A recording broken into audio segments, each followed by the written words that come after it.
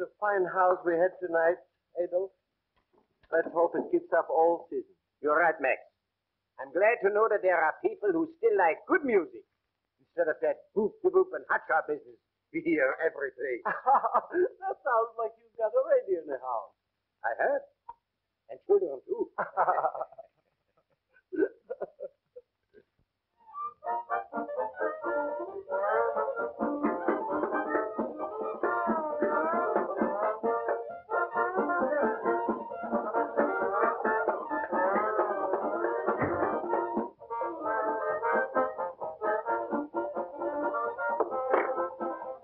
Richard. Oh, there. Must you play that radio so loud? Uh, okay, okay. Every time you come in, I've got to turn the radio off. If you wanted it just for an ornament, you could have saved yourself some money and bought a hat rack. Such a way to talk. Doesn't your father like to see you enjoy yourself? Always? Music is good for everyone. But for the love of sake, such discords as you listen to, here. Here is real music.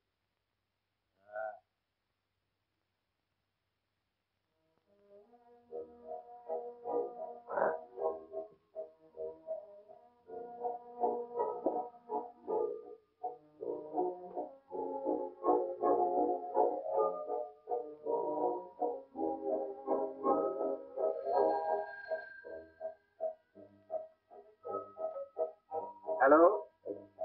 Who? Oh, just a minute, please. Paula? Telephone.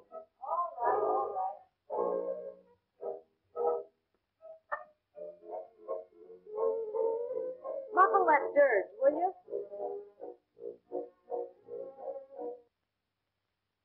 Hello? Oh, Michael. I'll be right down. Don't be so impatient, darling. I thought only taxis had meters. Never too late for champagne and orchids. Okay, darling.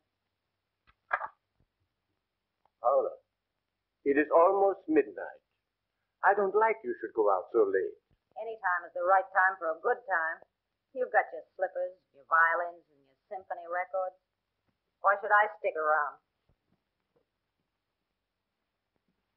Listen. It is you and Richard that I come home for. And when I get here, you both go out. Don't you like your home?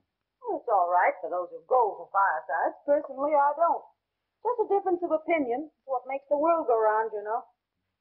When I was your age, I spent my evenings practicing my music. But you and Richard, you only care for a good time. Oh, depends on what you're looking for. A life with a violin under one's chin isn't my weakness. Oh, I almost forgot. Leave ten dollars on the desk for some things I ordered downtown today. They'll be delivered in the morning. Uh, what time you coming home, Paula? When the party's over. Nice, pleasant little family this is. Not.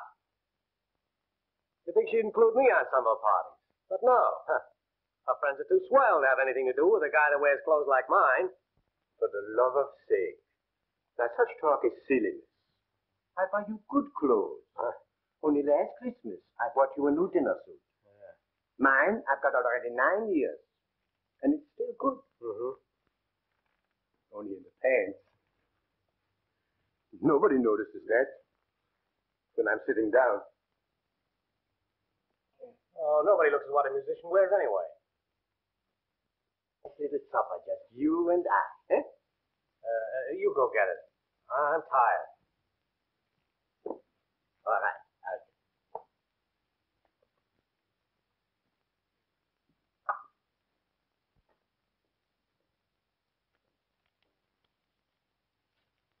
Richard, you should have seen the crowd at our concert tonight. We played Offenbach's Orpheus and Hades. That's my favorite overture, you know. Boys all wanted me to go to Taronis with them. But not Adolf. Not that he can come home and be with his boys. Richard. Richard.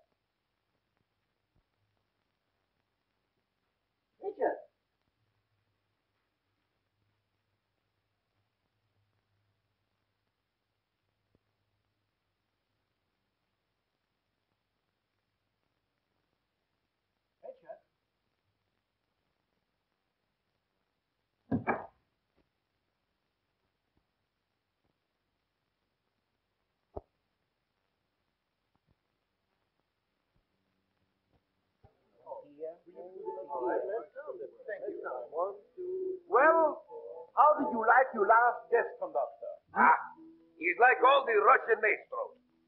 Just a contortionist. And besides, he favored the hobos. Rossini is hard to please. Buhakov is a splendid conductor. He played Orpheus and Hades beautifully. You are always faithful to that overture and to Adolf. And while we are on the subject, Buhakov told me that your violin passages were exceptionally fine. Well, it is my favorite. Perhaps someday I will be able to play it good enough to play the solo passages. Adolf, that opportunity will be yours two weeks from tonight. Mancini, you mean that? Yes, I mean we'll repeat the Orpheus and Hades overture and you shall be the soloist. As orchestra manager, I have already arranged with the Symphony Board of Directors to have you promoted to the concertmaster chef by this time. You see, Martinelli, our present concertmaster, leaves to go on tour, and the place is yours. You don't know what this means to me. All my life, I have waited for this moment in my career. Adolf, a fine musician like you deserves such a recognition. And now for your rehearsal. The director is waiting. Congratulations, Adolf, as our new concertmaster. Thank you. Oh, I'm so happy. And I'm nervous, too. You know, I only played the overture, Orpheus and Hades, for ten years. I need more practice, maybe. Huh? Why don't you go down to hear Franz Steinmann tonight at the music hall? Watching him should give you more confidence. That's just what I'll do. Listening to the greatest violinist in the world should be enough inspiration. I should say so.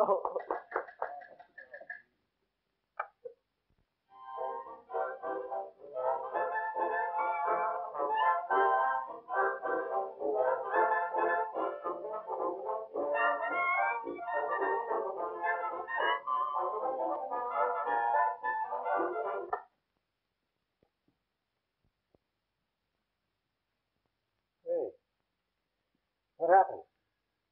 I was badly hurt in an accident. Oh, yeah? Well, maybe we can collect damages. No, it happened in a public street outside the stage entrance of the music hall. You see, there was a big crowd, and they all wanted to get close to that great violinist, Steinman. The people was very rough, and I was pushed through a window. Richard, it hurts pretty bad. Well, it's your own fault. Why don't you come home instead of hanging around with those crazy musicians? Hey. You won't be able to play now, will you? Not for a little while, but don't you worry. Everything will be all right. Do me a favor, Richard. Get me a little schnapps. I feel a little dizzy. Uh,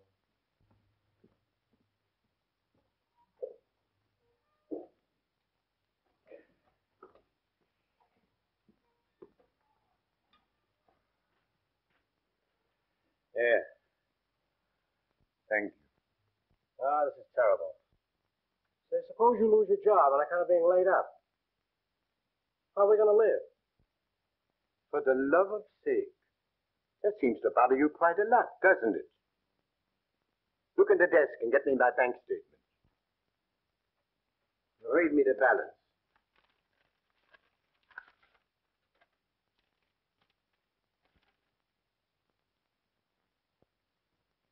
Why, it's only $52. What? Oh, yes, I remember. I had $500. I bought a new violin. And I loaned Rodzinski, a cello player who's out of work, $50. A fine lot of consideration you have for Paul and me. Here you are almost penniless because you must buy violins and help out hand musicians. Now your hand is injured and you can't go to work, and yet you say everything's going to be all right? Why not? Even if I'm laid up longer than I think, surely you and Paula can help out by going to work. Yeah, what kind of work? Paula ain't the type, and I can't find anything that suits me. And it's your fault, too. You never let me go out and do what I wanted to. I always had to stay home and listen to that crazy music of yours. Well, if you're going to talk like that, I think I'll go to bed.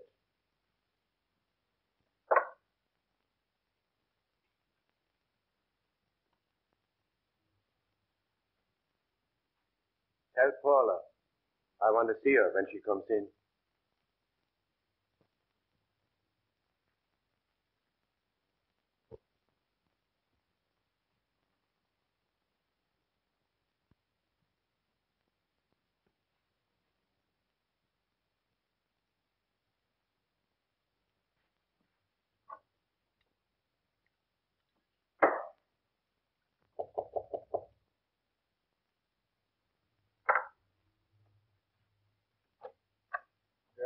Yeah.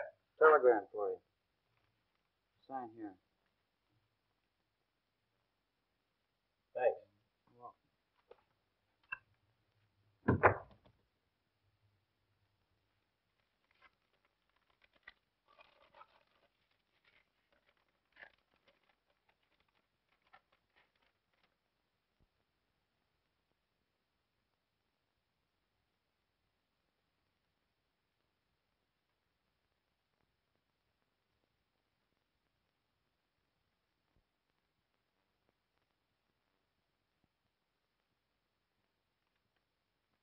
Yeah.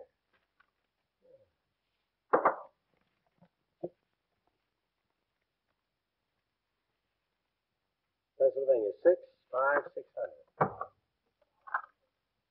Uh, get me Pennsylvania, six, five, six hundred. Uh, what time can I get a train to Atlantic City tonight? Eleven forty. Thanks.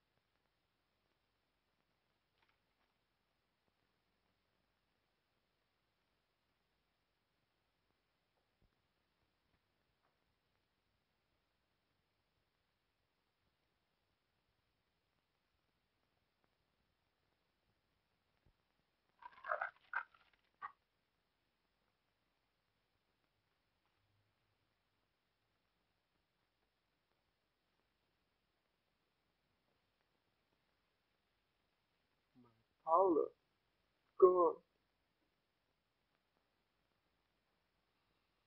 And Richard, too.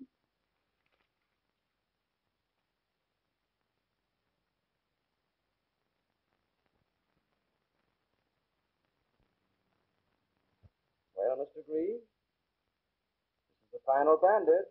Mm-hmm. Now we shall see how you have mended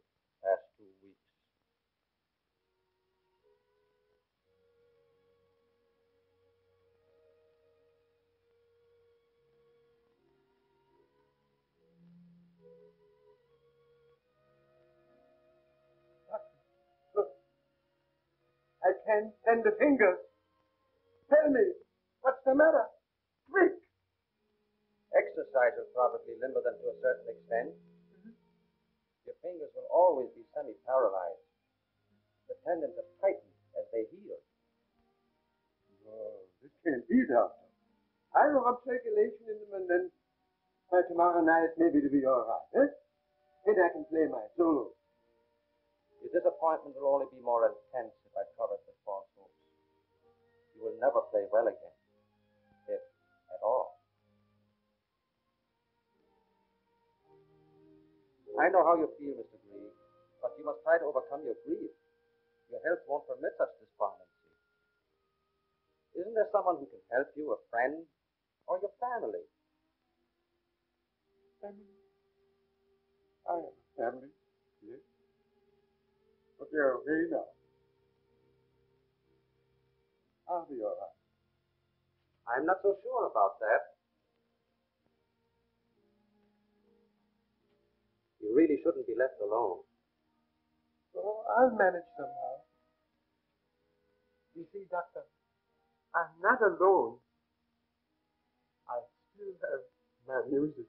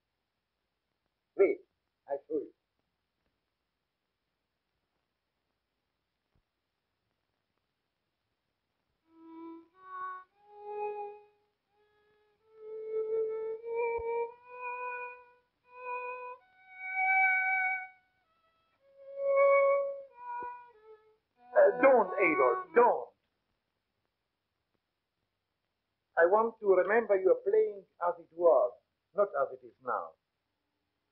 Forgive me. I had to try. And now, I want to ask you a favor. Anything in my power, Adolf. I know I can't play anymore. But isn't there something else I could do? As a manager? You do the hiring.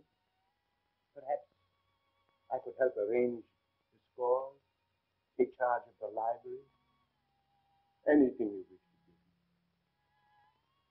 I wonder why we always must disappoint our friends when they need us. You asked me something I would give you in a second if I could. But Adolf, I can't. There are no vacancies. I cannot throw men deliberately out of work, even if I wanted to. Perhaps later we'll find a place. Yes.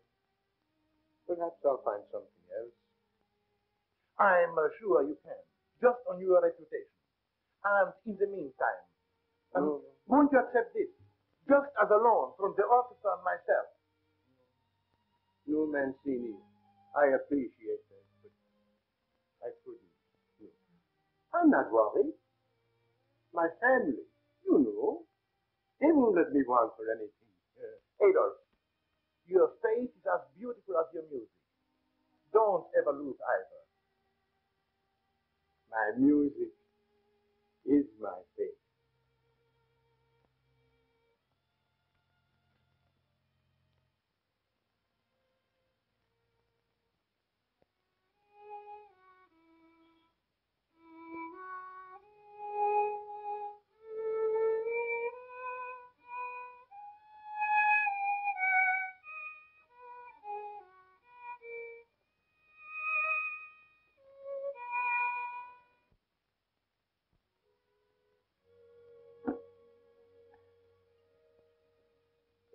Nice paper, Adolf.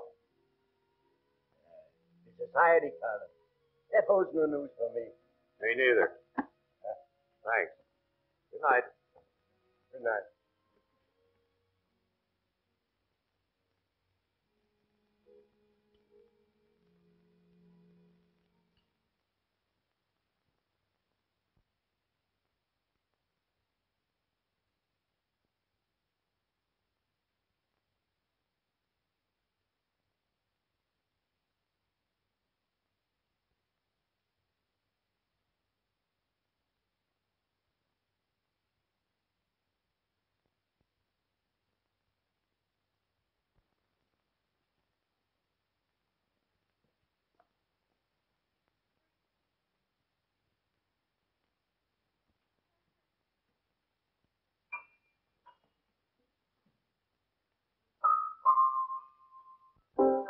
Marie, haven't I told you to keep him away from the piano? That noise will drive anyone mad. I'm sorry, ma'am, but he doesn't want anything but music. Well, put him to bed immediately. Keep him away from anything musical. I know what I'm talking about.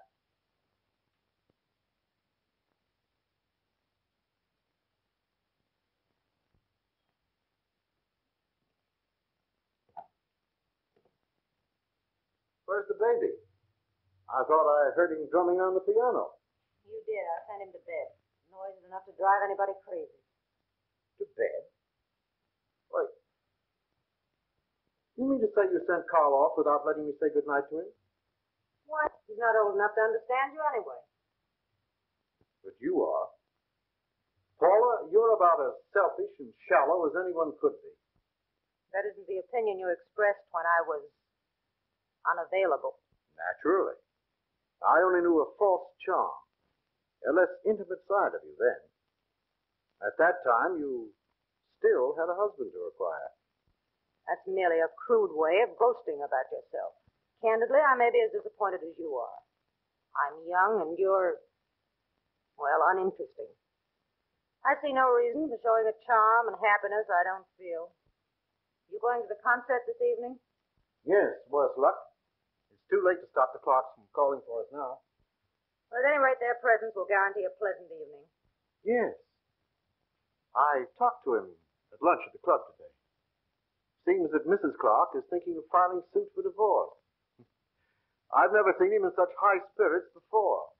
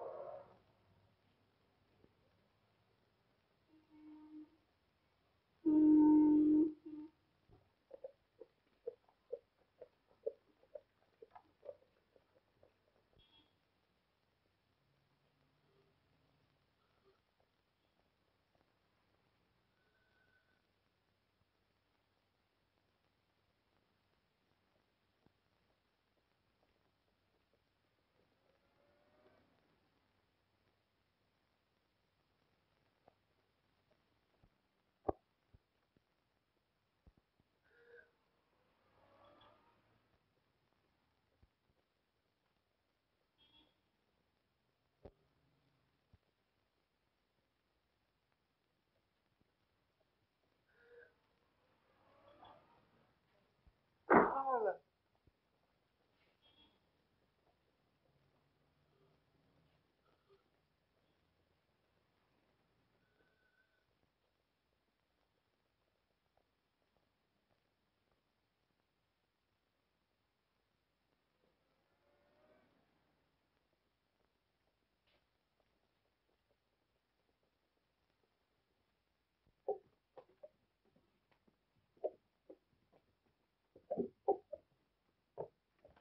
Hey, Mazzini, you come to my house tonight, eh? And my daughter Carmen will want the first two on the table will make the mouth glad to open.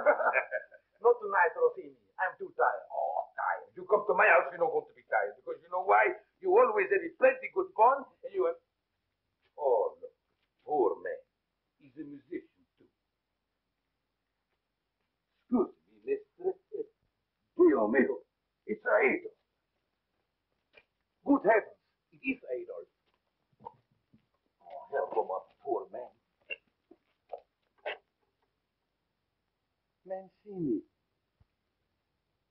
Mancini. Oh, it is good to see you. Adolf. Why, you are shaking. I changed my mind. Both Adolf and I will accept your invitation for supper tonight. Good. No, no, no, no. I must go. Oh, nothing of the sort. We haven't seen you in years. What? You would refuse Rossini? Why, it's a reunion for everybody. Come, we go. We go. E quando l'amico Ro... Ah, Carmen. Yes, Daddy. More vino, eh? Presto, presto. Adolf, where are you living? Uptown. Way uptown. Why don't you move down here with us? All you get uptown is the noise of the streetcars and peddlers.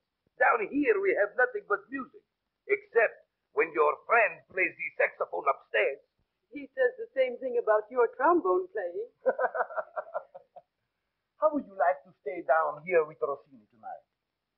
You look very tired, Adolf. And tomorrow we could spend the day together with our music, eh? Sure, why you no sleep down here tonight? I got plenty room. Come on, I show you. Well, I am a little tired. And if I can stay here, I think I'll go to bed now. Huh? Good night, Adolf. And we see you tomorrow. Sure, we see him tomorrow. You know, I wear the night shirts. You'll find them in the drawer. They're better than pajamas. More room and no buttons. Good night, Adolf. Good night.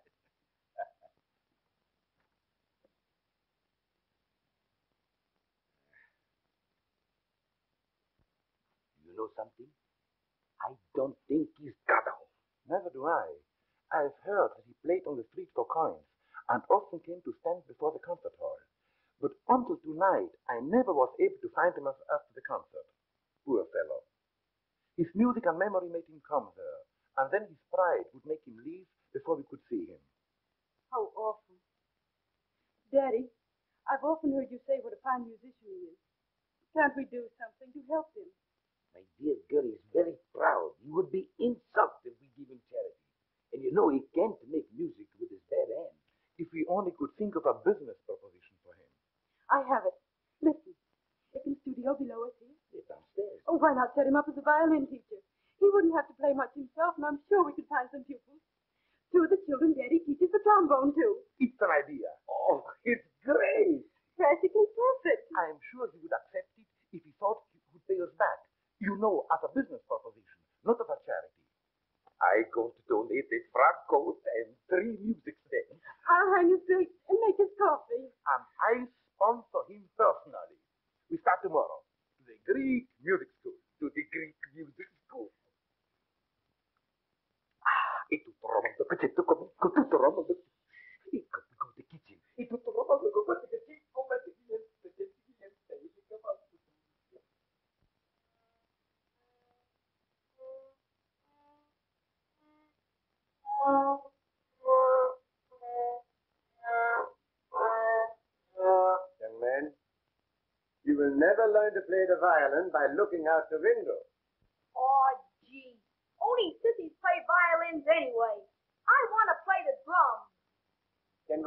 Why do you come to me twice a week?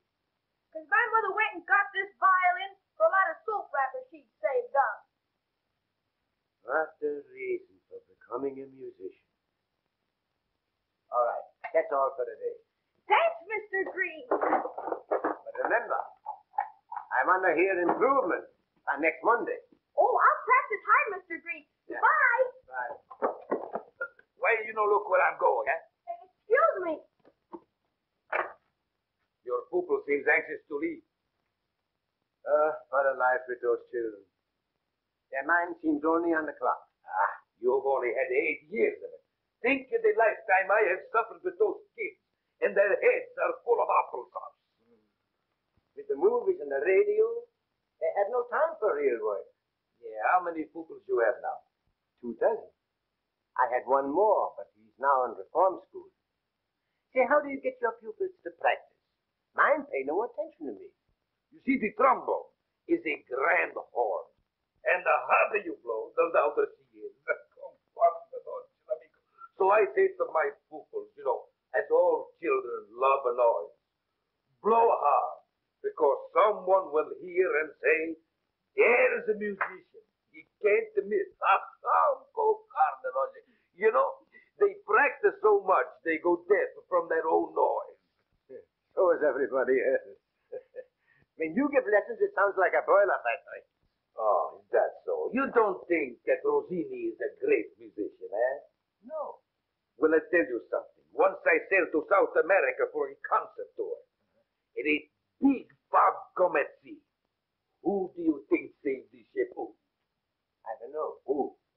Me, Rossini. The captain, he come to me personal. He says, Rossini, go on the bridge and play your trombone till the fog she go away. Could a violin be so tremendous? No. But a foghorn could. Well, of course it. I laugh too.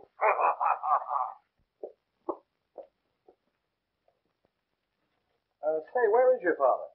Arguing with Adolf, I guess. That's their chief exercise. Ah, uh, that Adolf, he's a great old fellow. You know, he's forgotten more about music than most people will ever. Yes, sir. I've grown very fond of him for many reasons. It uh, wouldn't be because he lets us meet in the studio, would it?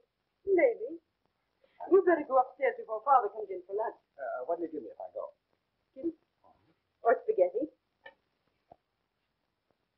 Say, that's a swell title for a song. But uh, I'll try it out first now. Huh?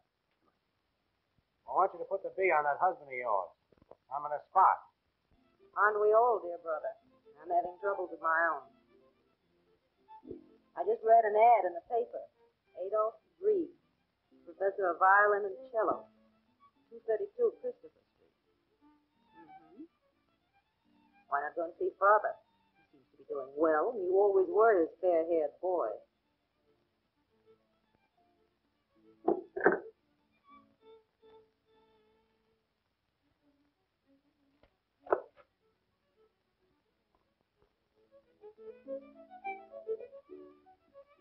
Carl. Yes, Mother. We won't need your services any longer. You may go.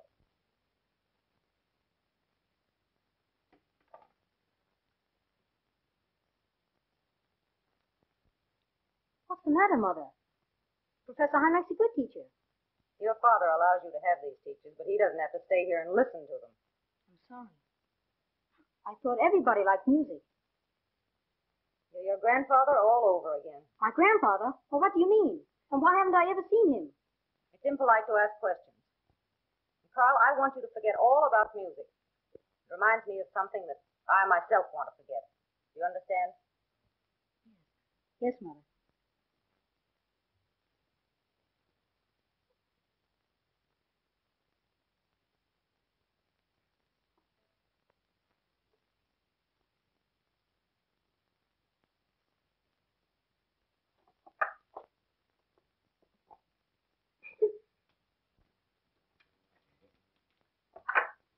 Excuse me for being so long at the telephone.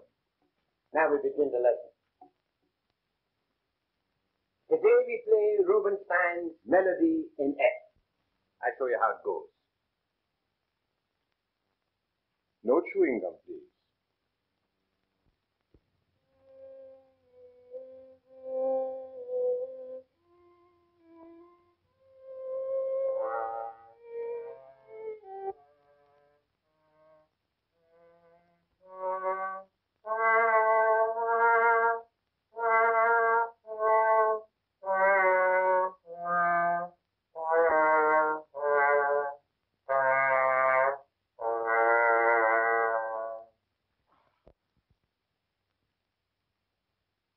Play only the notes, not the places.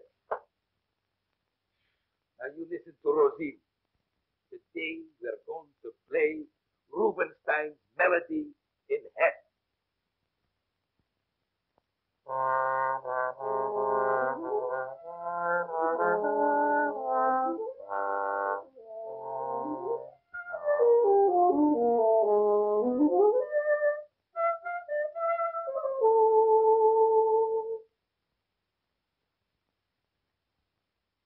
Sam, I wish we could write a good number. Something new. Yeah. Something new. Now we commence. One, two, three.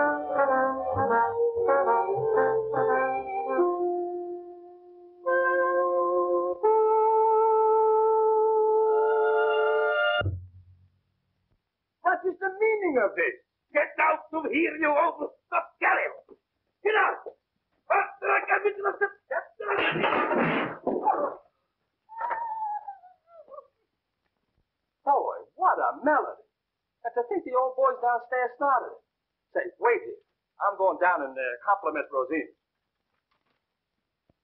That'll be all for today. Thank you for loaning me a violin, Professor. Mine will be fixed in time for the next lesson. Well, that's nice. Oh, Goodbye. goodbye. Bye, Professor. Goodbye. Bye. Bye.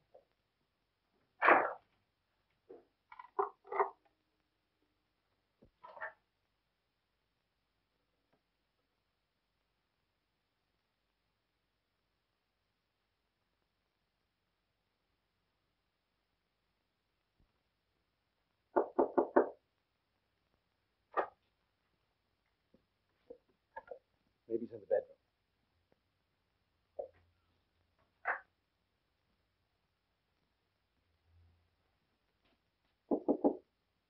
Mr. Gray, you have company.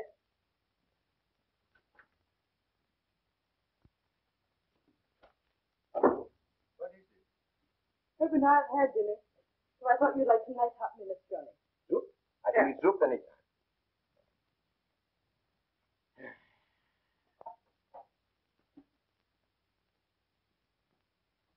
Hey, what's the matter here? You look kind of tired. Well, my pupils were very trying today. I try to teach them classic and they want to play jazz. It seems nobody likes the old music anymore. What did you run into? Oh, uh, another music teacher who shares your sentiments. Yes? Only uh, he hit you with a trombone to prove it. Where is he? Daddy's cooling off at the concert hall. Rossini went to the concert hall. I haven't been there in ten years. You've been awfully good to Carmen and me. Just like a, a father. I'm glad. Because once I had children of my own. And you two sort of take their place. I didn't know that. Are they. Are they. Dead?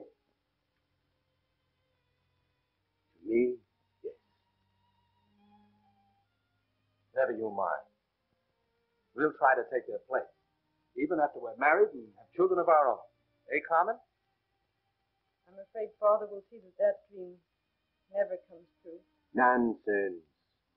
Once I was as narrow-minded as he is. Now I think different. And so will he. Youth is a rhythm the old ones can't keep a tempo to. The old the memories of our youth. That is why your father and I persist in teaching them, even though they're as musty as we are. Ah, now I know you don't mean that. Why, most of our modern music is based on the old classics.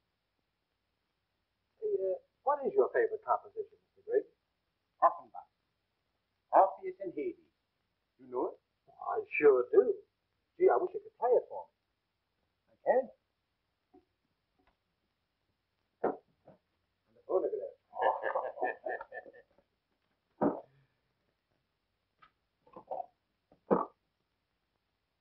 I haven't played that symphony for a long time. Start it.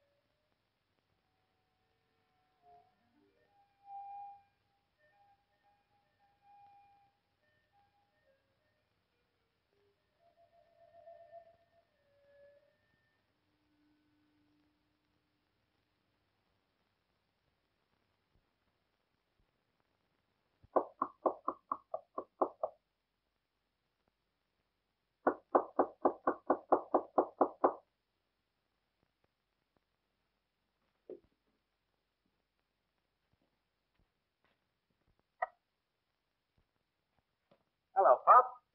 Richard. Come in. Come in. Well, nice little layout you got here.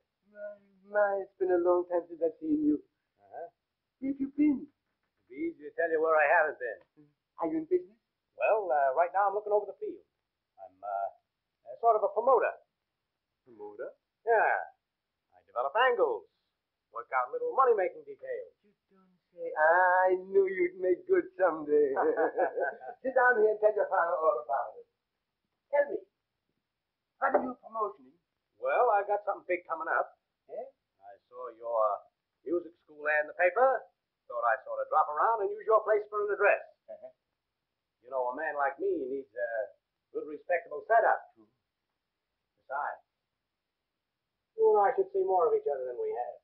You're right. Well, you know, my boy, my home is always yours. Eight years I've had this music school. I haven't made much money, but it's a living, and you can share it as long as you like. well, we're going to get along just fine.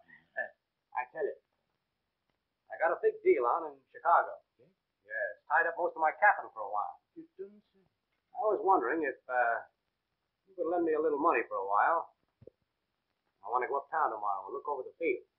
Of course.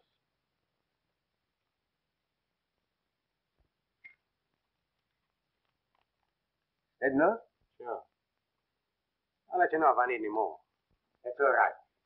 Now, tell you what, you sit here, and I'll make some Liederkranz sandwiches and get some beer, and then we'll have a nice little talk, eh?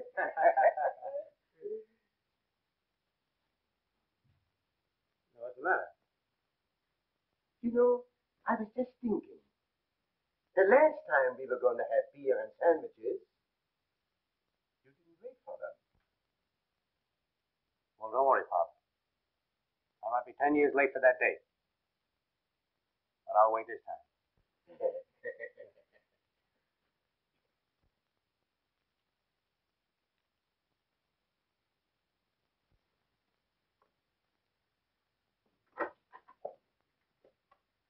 Good morning, Richard. Oh, hello, Pop. Good morning, Miss Rossini. How's the most beautiful daughter of the world's finest trombonist? I'm glad you appreciate my father's ability, Mr. Grigg. Oh, excuse me. While I read my mail.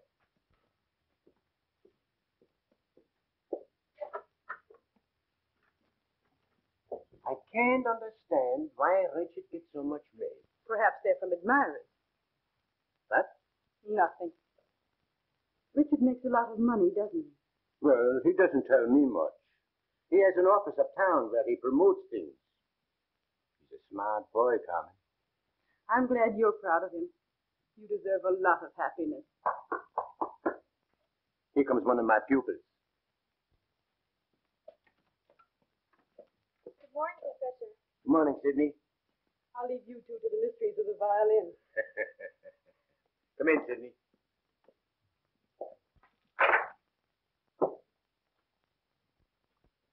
Well, did you practice hard this week? Uh, no, sir, I didn't. Uh, you see, sir, my dog ate half the music, so I could only play the bottom of the page. That's the first time I ever heard that one. Never mind, the lesson will commence.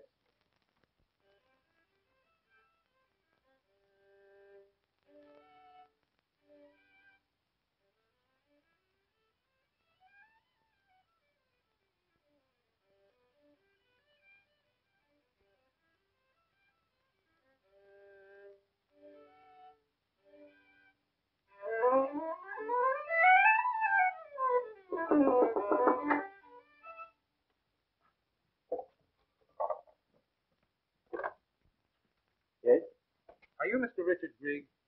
Well, I'm his father. What is it you wish? We're friends of his. We'd like to see him privately. Yes? Come in. Come inside. You run along, Sidney. Come back the same time tomorrow. I always like to meet my son's friends. He's a fine boy. Yes, clever too. Uh, is your son in partnership here with you? Oh, no. He's been away a long time. Just came back a few months ago.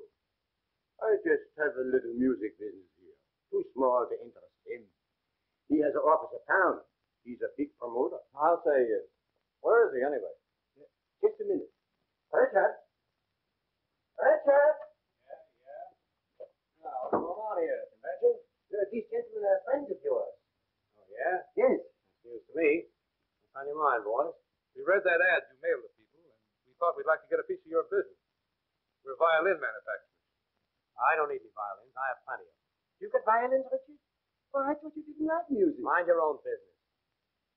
I'm sorry, gentlemen. I'm not interested in anything you have to offer. No.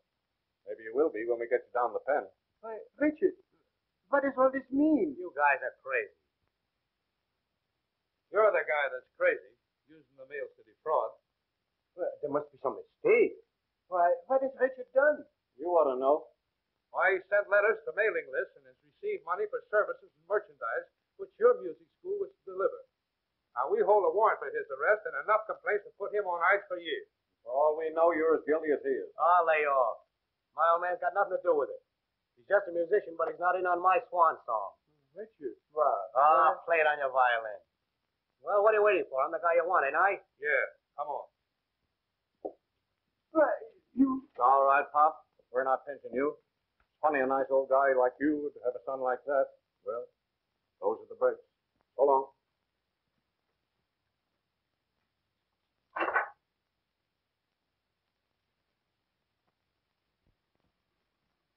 Your morning paper, sir. Oh, thank you.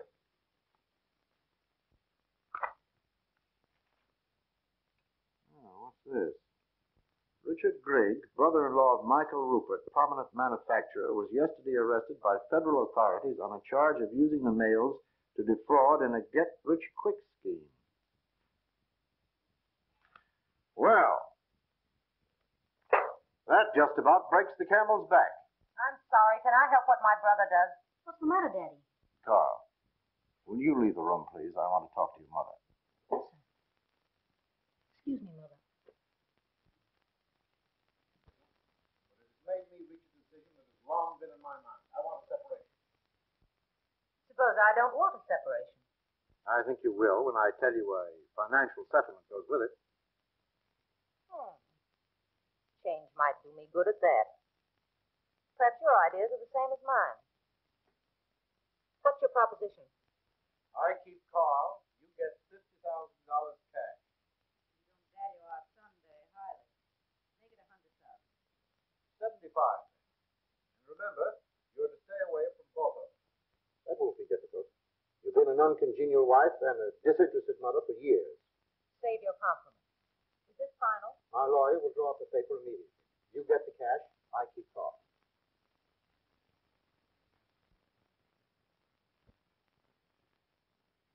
Mary, I'm going away on an extended business trip. I'm leaving him completely in your care. Be good to him now and give him lots of those cookies you know you used to give me when I was a boy. oh, don't you worry. Your old nurse knew how to make a good man out of you. Carl and I, we will get along fine together, won't we, Carl? Yes, Mary. But gee, Dad, I wish you didn't have to go away. Well, I feel the same way, son. But after all, it's business. I'll write you off. And mind, mind you behave. Yes, sir. Hmm.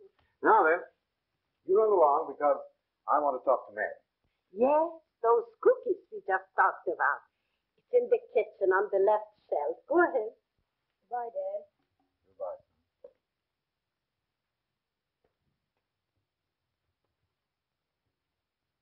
I may be gone quite some time, Mary. That's why I've closed my house and moved Carl down here with you. Mary, I want you to be a mother to him. Of course, you know that my wife and I have separated. That's why he needs a good woman's care more than ever. You understand? He will be a good company for an old woman like me. Don't worry about anything.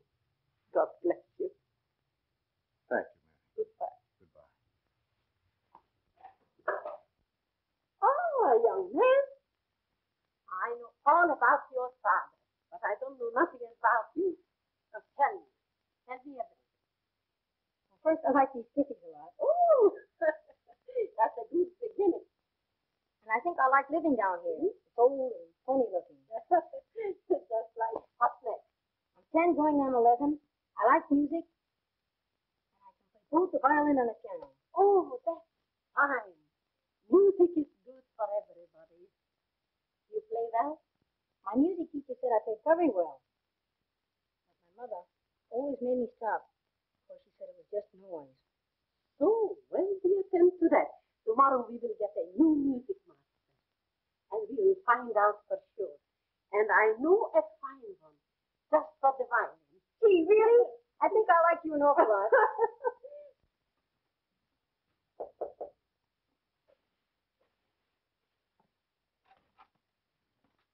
Ah, good morning, Professor Green. How are you? Good morning, Mary. I found your message under my door. You have a new pupil for me? Yes, and a fine one. That's I good. want you to meet him. Carl! Carl! Come here. Yes. Carl, this is your new music master, Professor Green. Professor, this is your new pupil, Carl Rupert. How do you do, sir? How do you do, Carl? So, you want to become a violinist, huh? Yes, sir. Well, have you had lessons before? Many of them. And I practiced all the time. That is, when I was allowed to. Well, that's fine. Now, suppose you play me something before we begin the lesson,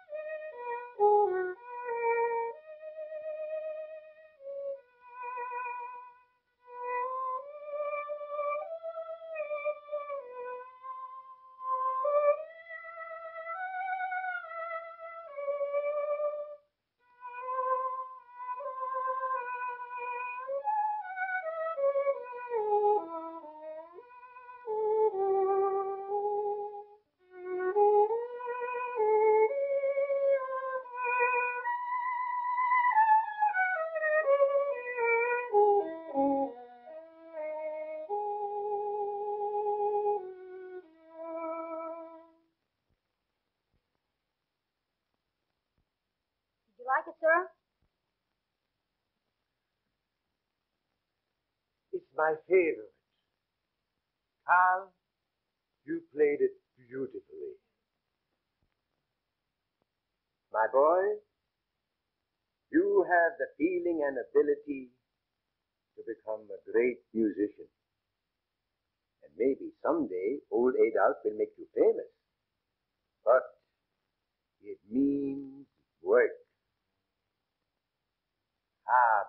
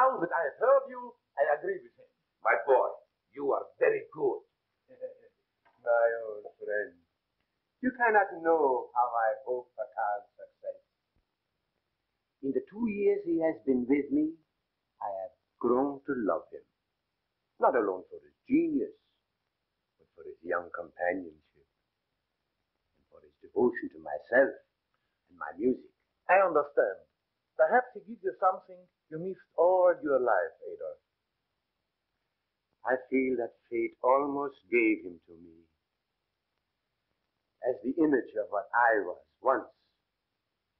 What I dreamt my own son might have been. Will you help me arrange his future? Of course. We'll start his career with a salon recital at the Hotel Savoy next Monday. Mr. Rossini, just think of me giving a concert. Yes, too bad. What? Too bad you wasted all your talents on the violin. Fortissimo, how he could have played the trombone. ちょっとちょっとちょっとちょっと変えたな。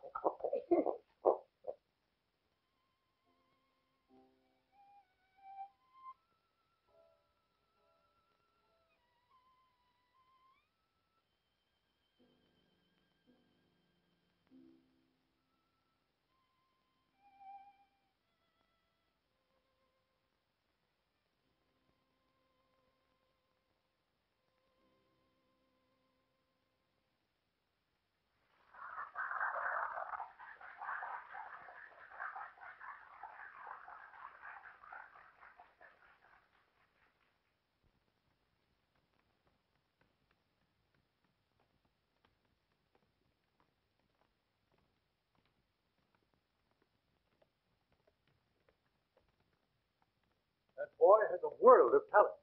You are absolutely right. His technique is superb. Old Adolf Grieg deserves all the credit for training him. As chairman of the Symphony Society, I'm going to recommend that we have that boy appear as soloist on one of your future concert programs. I thought you wanted Carl. What a future of fame and wealth that lad can count on. Oh, here he comes now with Adolf.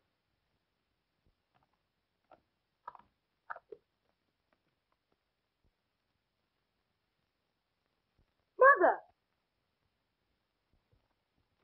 Carl, darling. Paula. Paula. And Father, well, what a reunion. What did he call you? Well, he called me Mother. Carl's your grandson. Professor Grigg is my grandfather?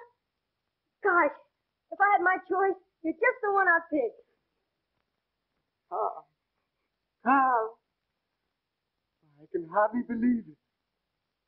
For two years, day after day, I have been with my own grandson and didn't even know it. It isn't fair. You can blame Michael for that. He stole Carl from me and put him with an old nurse. Well, I didn't know where he was. I haven't seen him until now. Carl, darling. My daughter, my grandson, all in one day. It is always too much for an old man like me. Congratulations to both, getting a grandfather and a great music teacher. Now that I know your relationship, I understand where your genius comes from. Oh, Mancini.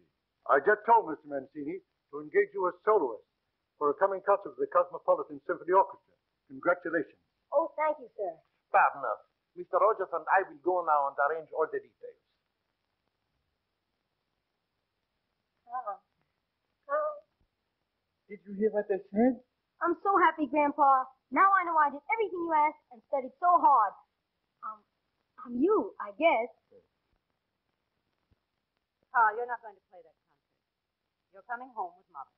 Then we're going to Europe where you can have the best training before you make public appearances. But, Mother, Paula, you can't do this. Remember, he's mine too. He's my grandson. My prodigy. I heard them say what Carl's future will be. And he will not appear until he's been schooled by the best masters. Too many careers have been ruined by hate. After all, I have as much interest in his success as you have. Come along, Carl. You can see your grandfather later. Please, Paula. Don't take Carl away from me. You'll see him again before we leave for Europe. Come on, Carl.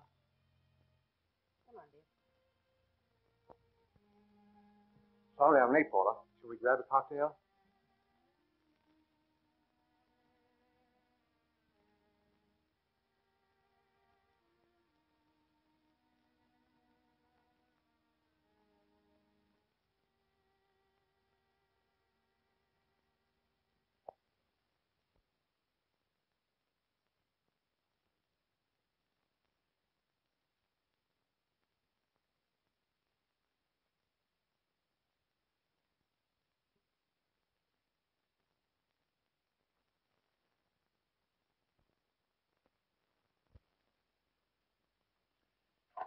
All a terrible mess, particularly for poor Adolf.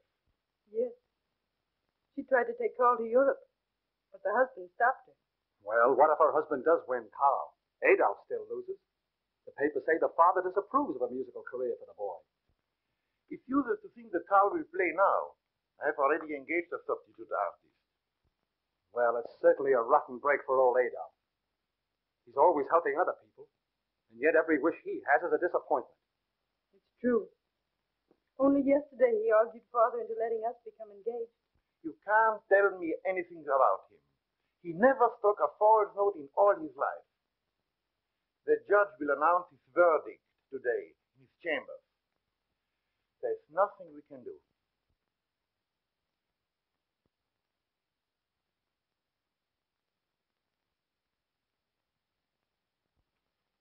After careful consideration of the testimony and argument of counsel presented in the case of Paula Rupert versus Michael Rupert, regarding the custody of their son, one Carl Rupert, aged alleges and by documentary proof establishes that the plaintiff accepted a financial settlement in return for relinquishing the rights to the son's custody. The plaintiff, in turn, states this agreement is not a legal binder and that her son needs her love and protection because of the father's desertion of the boy to the cares of a professional nurse. I am possibly going to be guilty of setting a precedent in judicial procedure by taking the course I have decided upon. Young man, please come forward. Now I'm going to ask you a most serious question. Consider it carefully, for your answer shall be the court's decision. The state gives you the privilege of choosing either of your parents or a suitable substitute as your legal custodian and guardian. What is your answer?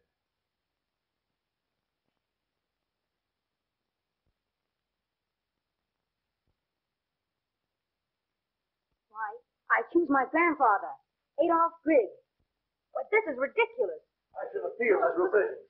Gentlemen, gentlemen, gentlemen. Mr. Grigg, do you accept the appointment of this court as the custodian of your grandson? Or have you any objections? Objections? Your Honor, I rejoice in the greatest gift an old man could possibly get the devotion of his grandson.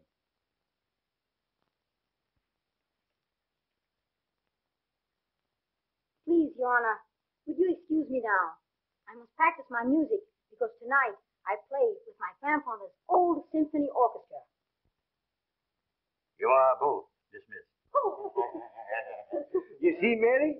He's going to play the concert after all. I'm going to get the dinner ready. no, no, no, no dinner. He plays better on an empty stomach. No, Yes, yes. That's all right. Yes.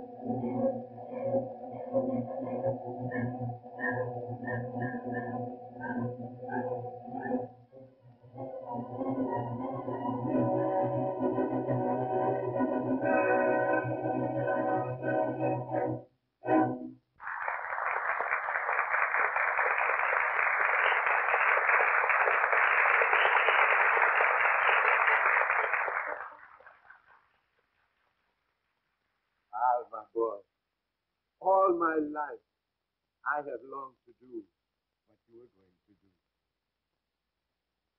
The opportunity was denied me. Now you have a chance. Show them what we can do. All right, then.